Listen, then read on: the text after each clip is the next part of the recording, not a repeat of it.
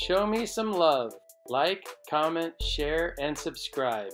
Unit 5, Lesson 4 Tables, Equations, and Graphs of Functions. Problem number 1. The graph and the table show the high temperatures in a city over a 10 day period. A. What was the high temperature on day 7? The point on the graph at day 7 indicates that the high temperature was 60 degrees Fahrenheit.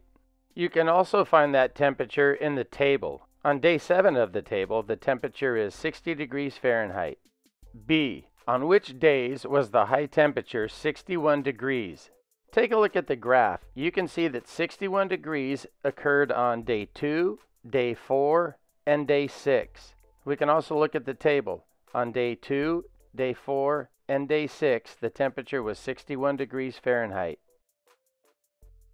C. Is the high temperature a function of the day? Explain how you know.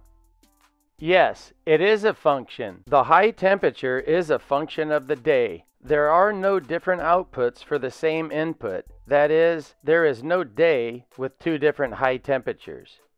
D. Is the day a function of the high temperature? Explain how you know. Day could not be a function of temperature, as there are multiple days that have the same high temperature. There would be the different outputs for the same input. Problem number two. The amount Lynn's sister earns at her part-time job is proportional to the number of hours she works. She earns $9.60 per hour.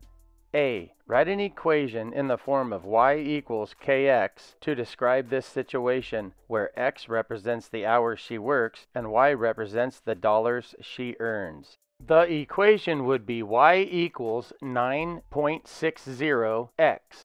The y represents the total amount earned and the x represents the number of hours worked. Of course, the 9.60 represents the $9.60 per hour that she earns. B. Is y a function of x? Explain how you know. Yes, y is a function of x because there is one input for each output. C. Write an equation describing x as a function of y. One equation would be x equals 9.60 over y. Another equation could be x equals 1 over 9.6 times y. Problem number 3. Use the equation 2m plus 4s equals 16 to complete the table. Then graph the line using s as the dependent variable. Let's start with the equation 2m plus 4s equals 16.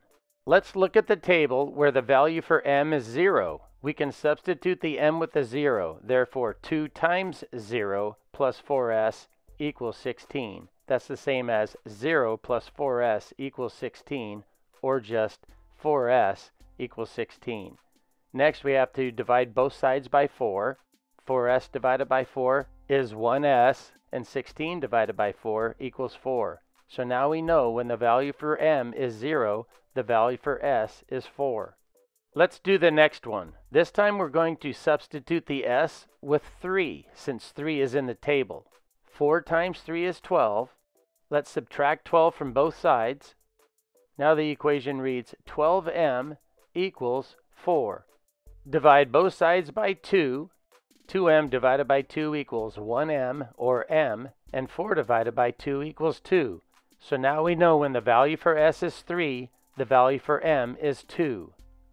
Let's do the next one in the table. The value for m is negative 2, so we'll substitute the m with the negative 2. 2 times negative 2 is negative 4. Let's add 4 to both sides of the equal sign. That gets rid of the negative 4, so we have 4s equals 20. Divide both terms by 4. 4s divided by 4 is 1s, and 20 divided by 4 is 5. So when the value for m is negative 2, the value for s is 5. Let's do the last one. The value for s is 0, so let's substitute a 0 for the s. Now it reads 2m plus 4 times 0, or 2m plus 0 equals 16. Divide both sides by 2. 2m divided by 2 equals 1m, and 16 divided by 2 equals 8. So when the value for s is 0, the value for m is 8. Use these ordered pairs to plot the points. To graph the points, draw a line through the points. Problem number 4 from 8th grade, Unit 4, Lesson 13. Solve the system of equations. We can do that by making the two equations equal to each other. 7x plus 10 equals negative 4x minus 23. Add 4x to both sides. 0x or 0 times x equals 0. So on the right side of the equal sign we just have minus 23 or negative 23. Subtract 10 from both sides. Now the equation reads 11x equals negative 33. Divide both sides by 11. 11x divided by 11 equals 1x or x. And negative 33 divided by 11 equals negative 3 we know that x equals negative 3, so we can substitute negative 3 for the x. The equation reads y equals negative 4 times negative 3 minus 23. Negative 4 times negative 3 is positive 12. Let's combine the like terms. 12 minus 23. 12 minus 23 is negative 11. Now we know that y equals negative 11. x equals negative 3 and y equals negative 11. Help me disrupt YouTube's algorithm by liking this video, commenting on this video, sharing this video, and subscribing to my channel. Thanks. I appreciate it.